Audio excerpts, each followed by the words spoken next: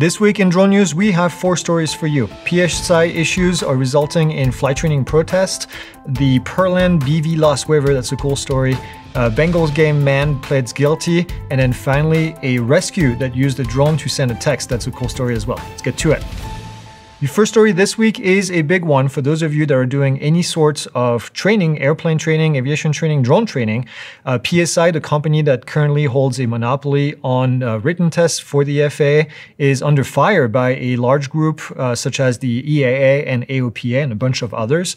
Uh, in case you didn't know, at the beginning of this year, PSI decreased the fee paid to testing centers uh, for completing the exam, and they cut that by 66%, uh, resulting in basically about $22 going going back to the testing center. Uh, as a result, many of the testing centers have stopped proctoring for PSI.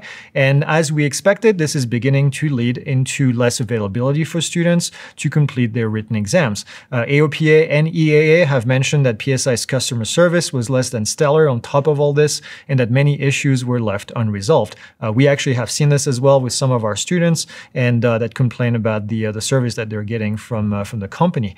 Uh, yet the FAA refuses to stop PSI's monopoly by not allowing to have any new applicants for the testing. So let us know if you've been impacted by these latest issues, but this is a story that we're going to keep an eye on and we'll keep you updated if uh, anything else becomes available. Your second story this week is about the city of Pearland, Texas. Uh, that is the first to receive a waiver for their drone as first responder, also called DFR, uh, for their operation to be conducted without a visual observer, which is a really big deal. Uh, the waiver covers 49 square miles near Houston, Texas, and the population is around 125,000 people in that area.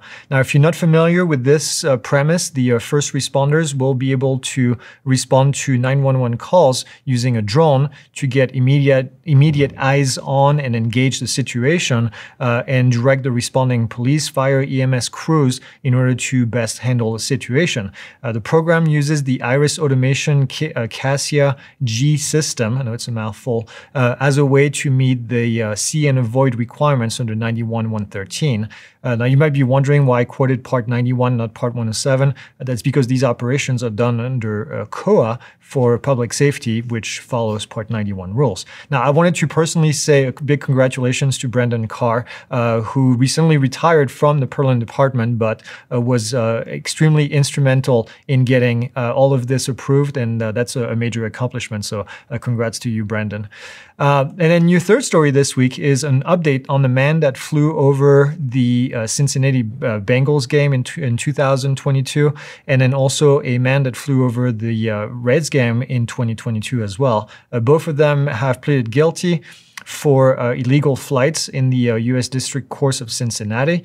Uh, sentencing has not been scheduled yet, but the plea deal will, uh, with the uh, federal prosecutors, uh, will expect about a year of probation and then 40 hours of community service. So remember to check the TFRs before you do this. don't be that guy, and if you get caught, don't be taunting the FAA and a bunch of other people because, well, then you'll result in what we just talked about right now. Your final story, this one, is one that you've likely seen, uh, one that a lot of our students have uh, sent over to us.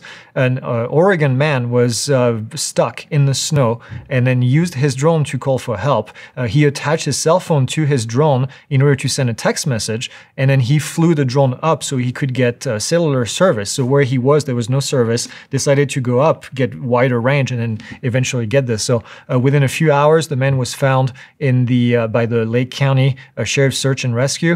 Uh, such an amazing use of the drone. Congrats on thinking about this. Uh, we actually, I think, had a similar story a couple years ago. Uh, I actually thought this was the same story that had resubmerged, but uh, we finally found the source and uh, were able to talk about it. So uh, that's exciting. All right, that's it. That's all I have for you this week. As always, like, subscribe, and we'll see you next week.